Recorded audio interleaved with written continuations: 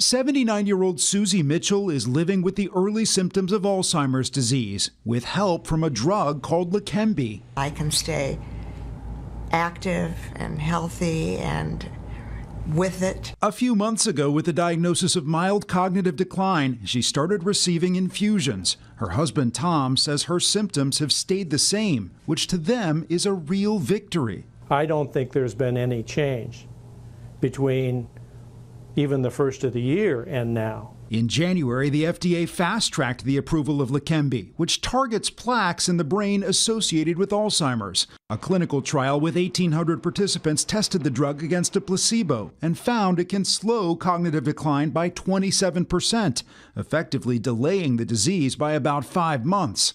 But more than one in 10 users had brain swelling or bleeding, and three patients died.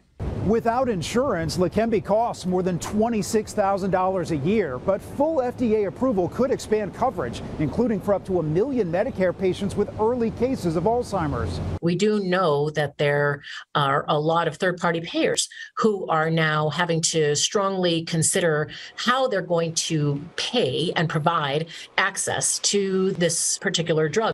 Mitchell hopes more patients like her can receive the medication. I feel like I can keep up and live my life the way I want to live my life. Grateful for a treatment that gives her time and hope.